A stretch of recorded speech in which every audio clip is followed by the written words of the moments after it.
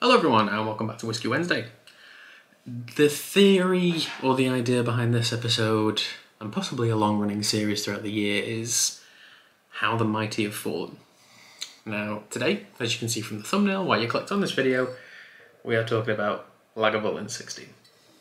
Uh, this is a freshly bought bottle, freshly popped bottle, and the whiskey's been sat in the glass for about 20 minutes. Um, but I think there needs to be, in a very whiskey in the six and sippers social club way, there needs to be a little bit of a rant at this point. Now, 10 years ago, when I was getting into whiskey, this bottle was one of the most widely available, widely talked about bottles ever. Up until about two months ago, when it reappeared on the UK market, and it had been absent for about a year, which is odd because it isn't a small distillery and it is owned by the largest drinks corporation in the world. But when I first got into whiskey, it was a case of have you tried Lagavulin? You need to try Lagavulin. Have you tried Lagavulin? Wasn't a huge fan of peated whiskey at the start of my whiskey career, as indeed many people aren't, but I got there eventually. Uh, mainly lured into it by things like Caol Ila, and then ending up with Laphroaig and Lagavulin and Port Charlotte, etc., etc. Um, it was a whiskey that had a lot of talk about it, and if you think about when people were talking about this product, no matter who they were, it is a 16 year old minimum heavily peated whiskey with what is essentially a four year sherry finish at 43%. And this used to be on offer in a supermarket for about £45 at its lowest, um, but I think retail of like 50, maybe a bit below. And I thought that was absurd, even at the time. And when I first started selling whiskey for a living, it was like 16 years for like sub 50 quid. And at the time, you had things like Glenlivet and Adora 16. Uh, I'm trying to think of other sort of old peated whiskies. Caol Ila 18 was like low 70s, sometimes high 80s, depending where you bought it from. Uh, you know, Bunnahabhain 18 was like 90 pounds, not as peaty, no, not peaty at all. And I was like, that's crazy. And I remember talking to colleagues and like people at whiskey festivals, like, do you not think it's absurd that at the time, what was what was like the main product because 10 years ago, there was Lagavulin 16, there was Lagavulin Distiller's Edition, which is essentially this whiskey with a PX finish, so it's like a triple maturation. Lagavulin, even though it only says double maturation on the front of it. Um, and there was the Lagavulin 12, which is brought out once a year. That was it. That was the core range for Lagavulin. And if you think in the last 10 years they did the 8 year old, they've done a 10 year old, which was just available in travel retail. They've done the 11 year old Nick Offerman edition. There was a 9 year old Game of Thrones release. Um, numerous older whiskies for Fèis Ìle and Diageo special releases, etc. etc. Personally, I think as soon as celebrities get involved with a whiskey brand, you should kind of walk away. And I think that's been somewhat of a tell for Lagavulin recently, especially in the last two years. Um, outside of glassware shortages for the industry and cardboard shortages for the industry, I don't think there's any reasoning at all for the intense price hikes that have taken place on this product. Was it being undersold massively by supermarkets for years? Absolutely. And I think Diageo should be held accountable for that because whiskey drinkers got a bargain. 16 year old heavily peated whiskey for below 50 quid. Absolutely. How many bottles can I buy? Supermarkets were buying thousands, if not tens of thousands of cases of this, and they weren't particularly asked, sorry for my language, if they made a loss on it because a supermarket can afford to make a loss on whiskey because you know you're they're gaining margin in the other areas in which you're buying products. And now, last year in particular, Diageo, so in 2021, Diageo, sorry, 2022, Diageo had two separate price increases. I picked this up for 80 pounds. I've seen this as high as like 130 pounds a bottle. And yes, that is a massive price increase from 50 quid. But if this would have been appropriately priced and not sold in supermarkets, would it be as gross an increase as it is today? Yeah, it probably would actually. Um, I just like to hold supermarkets accountable because I personally think they kind of ruined whiskey for a lot of people. I think supermarkets are to blame for that a little bit, as are large drink conglomerates in itself. And it seems like at Diageo they just spun a wheel and went, "This is worth this much now," but it still sells. I bought it purely for the sake of this video, um, and to let some friends try it because they've never tried Lagavulin. But at the same time, 80 quid. I will get to nosing and smelling this at some point. Just get this ran out of me first. I feel like it's been sort of brewing up in me for days since I bought this bottle. Diageo, like the, the prices are just insane. I reviewed the Clynelish 12 and Lagavulin 12 special releases a couple of weeks ago. Well, what was last year now? 135 for the Lagavulin, 175 for the Clynelish, that's pounds. 80 pounds for this. And if you put the core release, or like the most famous release from every Islay distillery next to each other, Ardbeg 10, which did suffer from the same supermarket fate, you can still pick up again for like, you can still currently pick that up for about 50 quid, which I don't think is too absurd for a 46% natural everything whiskey. Um, Bunnahabhain 12, slight price increase, unpeated, but still you can pick it up for definitely below £50 a bottle. Port Charlotte 10, I've seen it as low as 40 quid. It's on a sale, yeah, but you can get it as low as 40. RRP's like what, 50? Something like that. Um, I'm running out of distilleries. Bowmore, let's not talk about Bowmore because that core release range is, it's a brutal word, but it's simply pathetic given how good Bowmore can actually be. That core range is just nothing. Lagavulin 16, we've just talked about. Uh, Kilchoman, fantastic. No age statements yet. I don't particularly have an issue with that. 46% mostly bourbon maturation in the Machir Bay, mostly sherry maturation in the, the Sanaig, natural colour, natural filtered, both about £50 a bottle. Great. Um, I'm running out of distilleries on Islay. Elixir don't have one out yet. Ardnamurchan don't have one out yet. Port Ellen is yet to release one. Uh, Caol Ila. Caol gone through a bit of a weird one. Caol Ila Distillers Edition now doesn't have a vintage on it. Another Diageo product. Haven't seen the 12 anywhere for a while. Um, but again, that's like I think last time I saw that on a shelf, it was like forty-seven pounds. Not bad, not bad really. Um, I think that's all of them. Pretty sure that's all of them. I'm definitely going to get corrected below, but I'm pretty sure that's all of them. Um, and then we've got this, and you know, it's it's just sad. And as the title of this video says, it's just fallen. It really has. But that's like a six-minute rant. I've not even drank it yet, so you know, post below. I reply to every comment, or I try to, but most of the comments do get replied to. So do feedback down below. And we should try this. Now this is, it's not natural colour, and it is chill filtered. And even those two points, people were still like, like whiskey enthusiasts back in the day was like, it's a great whiskey because for below 50 quid, I suppose that's kind of an accepted thing. These days, if it's below 50 quid and natural colour and non-chill filter, then it's just added bonuses. Let's smell, let's taste.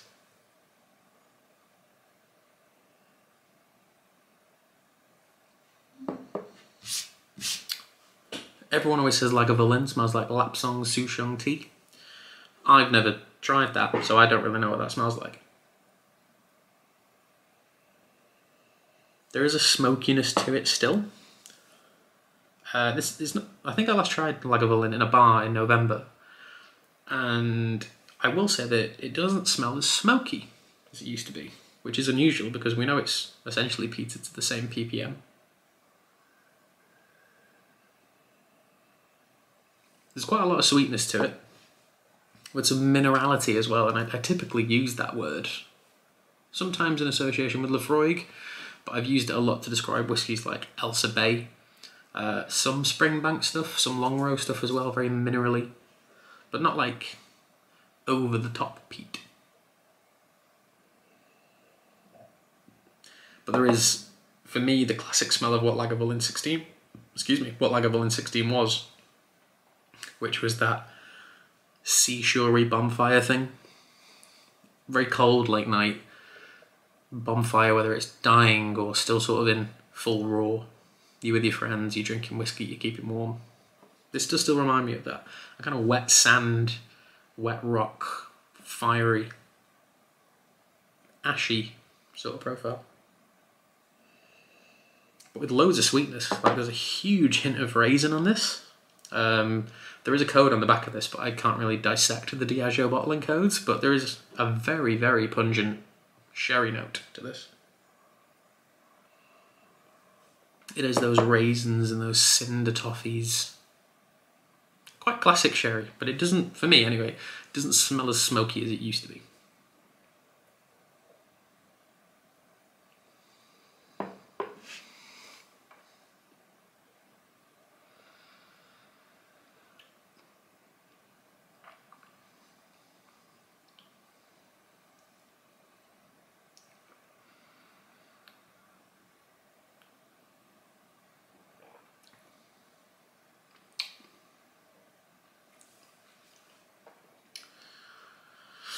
I mean, it does still taste like Lagavulin,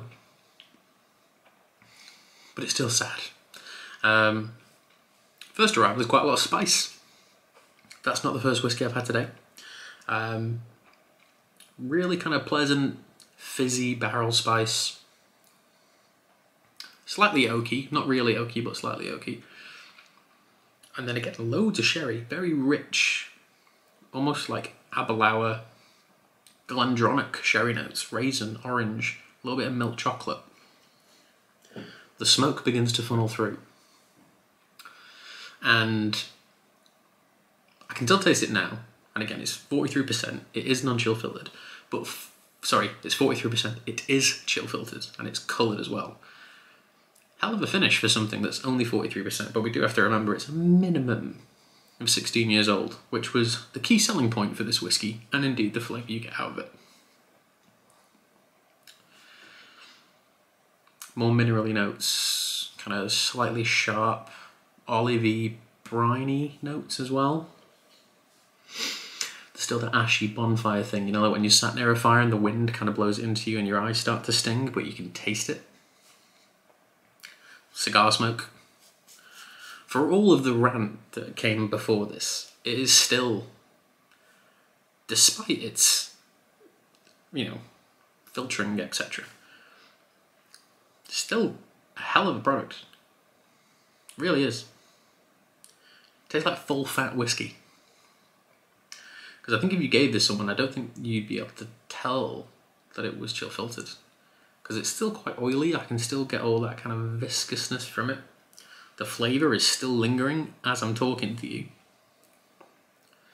So maybe that's why it was also very popular, because it is chill filtered, but it doesn't taste like it is.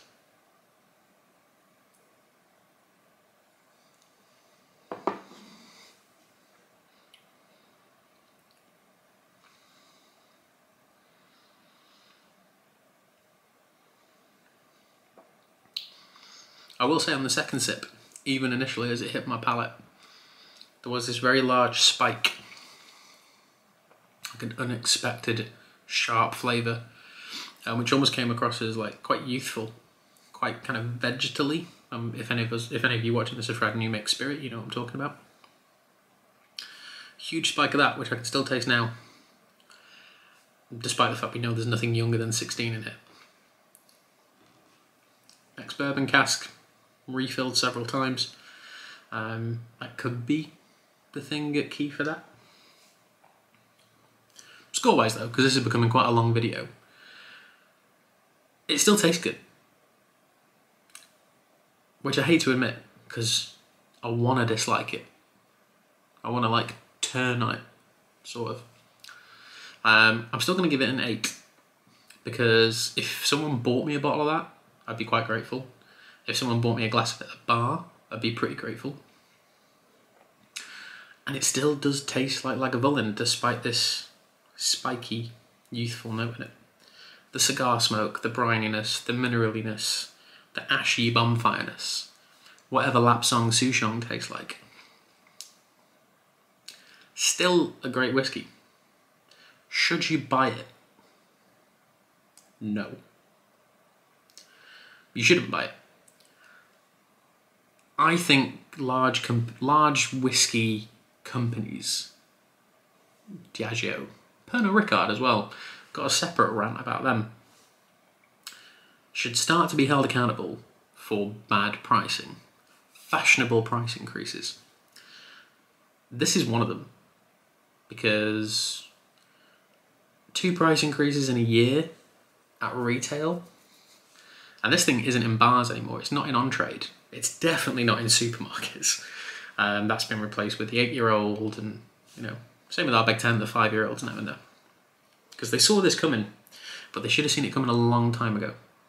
So if you have £80 in your pocket, screw it, call it a 100 If you've got a £100 and you want to buy peated whiskey, the list is literally too long to put in this video. There is Ardbeg 10, Ardbeg Uigeadail, a little bit more expensive, but there's Ardbeg Corryvreckan. I didn't like the Ardbeg 5-year-old, but some of you might. Don't buy the special releases, they're absolutely pointless.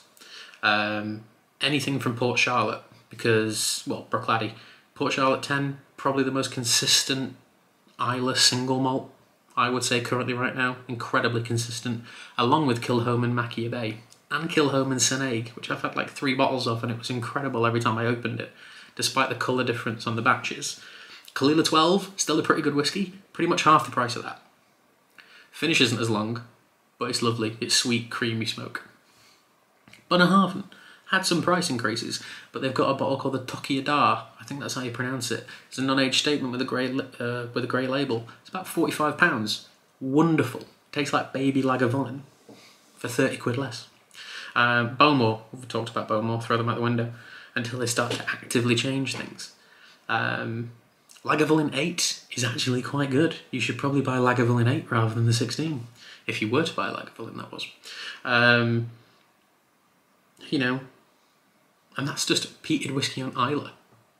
That's not Machrie Moor from Arran, or what will eventually come out of the Lag distillery at the southern part of, of Arran now. Um, Ailsa Bay in the lowlands, a fantastic lowland peated whiskey. Um, I'm running out of stuff now because my brain's getting a bit hot, I'm getting a bit ranty again. But there's loads of options, and if you've got like a hundred pounds, you could buy a bottle of Port Charlotte and a bottle of Ardbeg 10, and probably still get some change. And I think you'd enjoy them more, too. So yeah, the whiskey gets an eight. Objectively, purely based on flavour, it's an eight out of ten subjectively, totally different argument. And you should just, you are the consumer, you have the power. You need to start holding these companies accountable. If you know, if, if you've got a mate who buys Lagavulin 16 because it's the only whiskey they like, fine. Maybe wait for a sale or something. But, you know, as soon as the celebrity thing happened, and don't get me wrong, I like um, Nick Offerman. I think he's a very good actor. Um, I don't think Parks and Rec was that funny, but he's a very good actor. That association and all that stuff, those whiskies are okay at most. Like the Guinness Cask Edition was fine. I've not tried the new one. Um, but as soon as I saw that happening, I was like, Lagavulin 16 is about to get more expensive. Um, but yeah, that's it. That's all from me. Sorry for this like 20 minute video. Um, hopefully they'll get some good feedback. But I look forward to seeing you again. Uh, if any of you would like to know what my rant about Pernod Ricard is, let me know below and I'll do a video on Pernod Ricard because they deserve a little bit of a, a bollocking as well. But yes, final note is, you've got the power. And I look at myself when I do that because the video screen, it looks very egotistical to me right now, but you do have the power. And if you leave this on shelves, the price might not go down, but Diageo stock prices might. And that's when things get a little bit naughty for Diageo. Just bear that in mind. But yes, I'll see you all next week. Cheers.